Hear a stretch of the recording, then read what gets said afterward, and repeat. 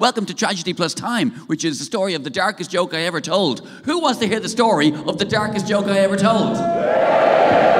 Well, you've come to the right place. How you going? I'm Ed Byrne, and I will be bringing my new show, Tragedy Plus Time, to your theatre this year.